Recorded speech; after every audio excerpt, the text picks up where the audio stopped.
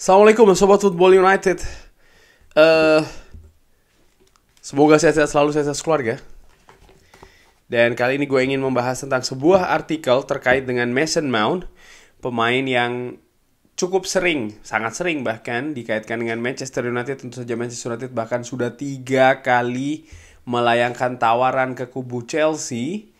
Perkiraan gue, gue uh, prediksi di tawaran ketiga akan diterima karena nilainya lebih tinggi daripada tawaran kedua. Mason Mount kontraknya akan habis, sang pemain ingin pindah dari Chelsea, tapi Chelsea justru menolak dan memberikan counter offer terhadap tawaran dari Manchester United. Ada 10 juta gap ya di tawaran tersebut. Uh, di konten terbaru dari Fabrizio Romano, dia mengatakan kalau kurang lebih Manchester United dan juga Chelsea masih belum menutup pintu negosiasi di antara keduanya. Jadi tawaran dari Manchester United 55 juta pounds ini masih berada di atas meja tapi mereka tidak akan menyanggupi atau menerima balik ya tawaran dari Chelsea senilai 65 juta pounds.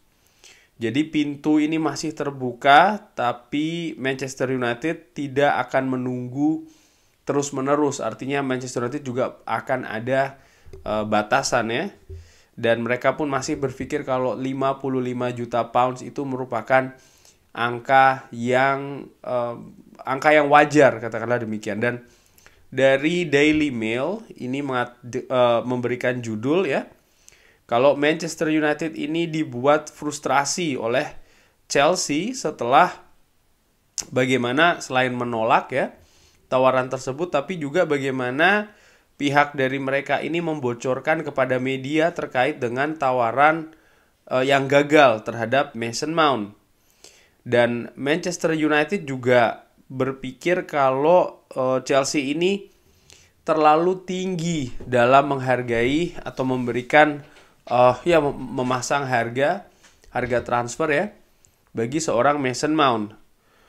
Nah, di sini juga disebutkan kalau ya Manchester United ini bukan hanya frustrasi karena penolakan, tapi juga tidak happy terkait dengan pihak dari Chelsea yang membocorkan kepada uh, pihak media.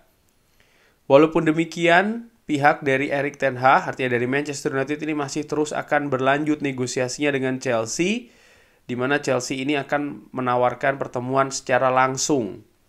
Seperti di dilaporkan eh, oleh Manchester Evening News, Manchester United ini tidak happy dengan Chelsea uh, karena John Murtoh ini juga frustrasi ya karena Chelsea ini memberikan komunikasi terkait dengan proses bidding Manchester United kepada koresponden di London. Dan informasi yang bocor ke media ya ini tentu saja uh, dinilai oleh Manchester United bukan sesuatu yang bagus.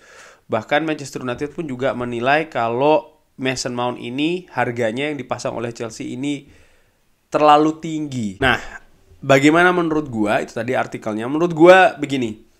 Mason Mount usianya berapa? 24 tahun, pemain tim nasional Inggris dan ini dia ya, ini adalah daftar pemain terbaik tiap musimnya dari Chelsea ternyata Mason Mount itu itu sempat menang uh, tiga kali bahkan ya 2021 2022 dia menang dua gelar.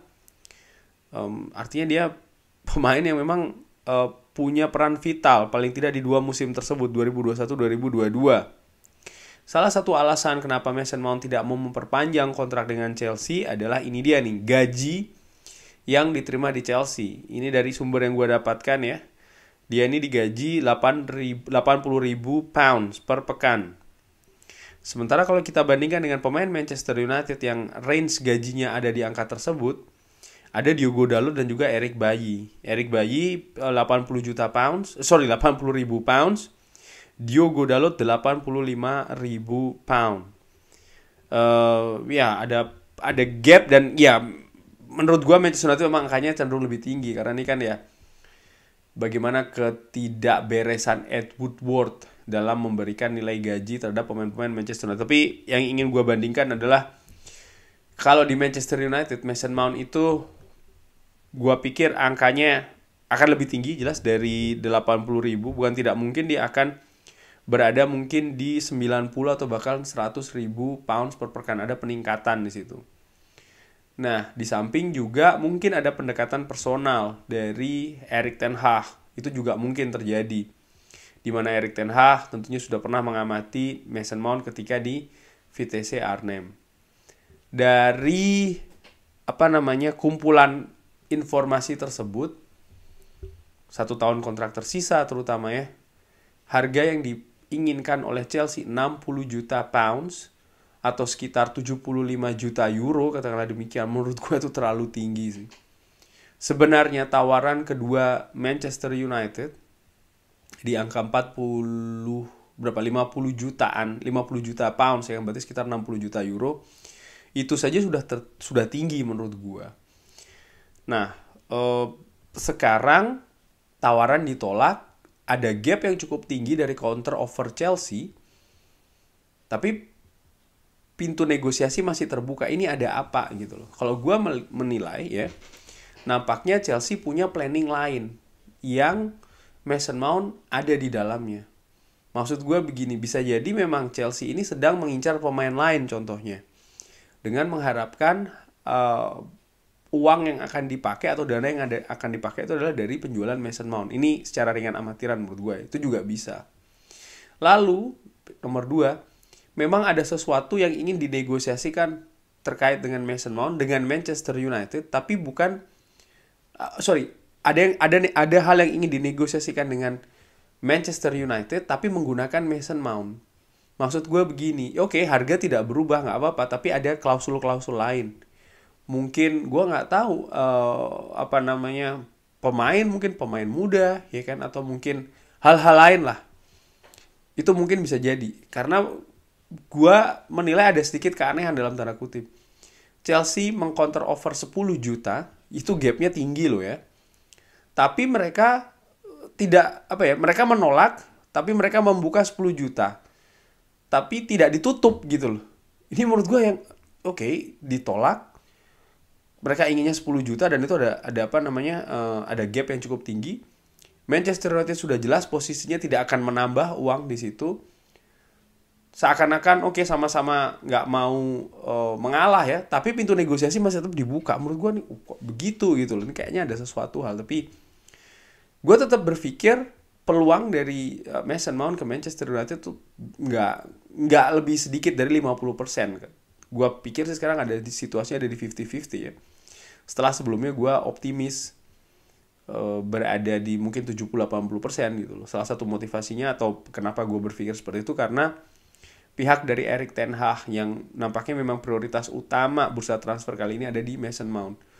Bukan memburu pemain depan dulu ataupun pemain belakang ya kan, tapi Mason Mount duluan gitu loh, secara spesifik. Nah, um, ada beberapa alternatif, gue nggak akan ke sana, nanti insya Allah akan gue bikin kontennya secara terpisah. Tapi balik lagi ke judul awal, gue sangat bisa mengerti kenapa Manchester United ini frustrasi dan juga unhappy ya, tidak happy Gua pun juga merasa demikian terkait dengan proses tarik ulur Mason Mount ini ya.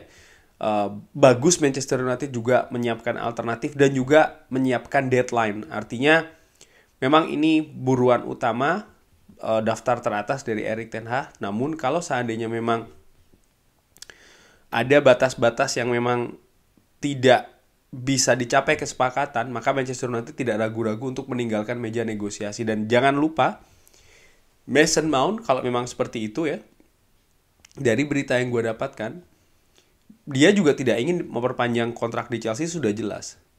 Dan dia pun juga sudah apa ya sudah memiliki kesepakatan pribadi dengan Manchester United. Itu yang dikabarkan kan. Artinya apa? Ya musim panas tahun depan alih-alih Chelsea bisa mendapatkan senilai berapa musim ini? 55 juta mereka akan uh, kehilangan Mason Mount dengan nol. Artinya mereka ya secara gratisan dan tujuannya menurut gua ya kemungkinan besar tetap akan ke Manchester United. Mungkin kalau memang seperti itu keputusannya Mason Mount tidak akan mendapatkan menit bermain yang banyak di Chelsea itu bisa sal jadi salah satu um, hal yang akan terjadi ya. Uh, tentu saja sang pemain tidak ingin hal itu dan mereka dan sorry kubu dari Mason Mount juga sudah melakukan yang mereka ingin lakukan yang mereka harus lakukan yaitu adalah menunjukkan bahwasanya mereka tidak ada apa ya tidak ada niatan lagi untuk memperpanjang atau bermain lagi di Chelsea gitu loh. Dan mereka juga sudah menjalin komunikasi yang dekat ya dengan Manchester United. Mereka sudah melakukan hal itu semua sehingga ya kita lihat ya uh, bagaimana. Tapi gue tetap tetap karena itu tadi gue berpikir kalau ini buruan utama dari Erik Ten Hag dan situasinya juga tidak menguntungkan sebenarnya bagi Chelsea kalau mereka tetap uh, ngotot ya tidak mau melunak tapi ya kita lihat saja um, kalau ada update-update lagi insya Allah akan gue kabari sudah cukup larut di sini gue harus istirahat dulu gue doakan semua sobat football United sehat-sehat sehat-sehat uh, terus sekeluarga Um, terima kasih sudah menyaksikan. Jangan lupa like, subscribe. Wassalamualaikum warahmatullahi wabarakatuh.